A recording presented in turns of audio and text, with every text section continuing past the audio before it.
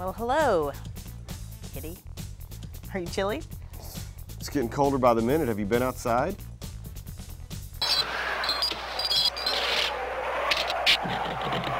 Chris, this is Texas, remember? Uh, we'll see who laughs last when the frostbite kicks in. Well, it's true. It is cold outside. And let me tell you, frozen pipes can sure ruin that holiday spirit. But you can help prevent your ho ho ho from turning into a no, no, no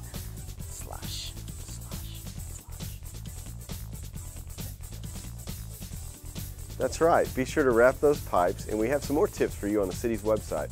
If you think you have frozen pipes, call the water department.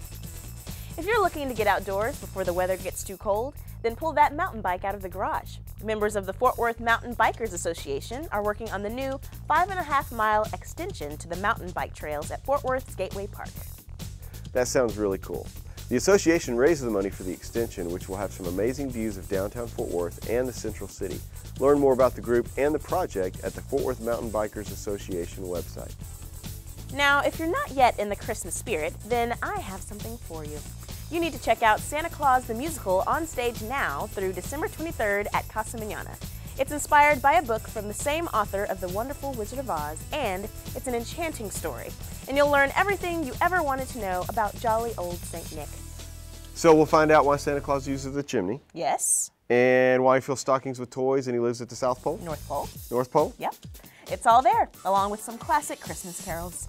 For information on times and tickets, check out the Casa Manana website.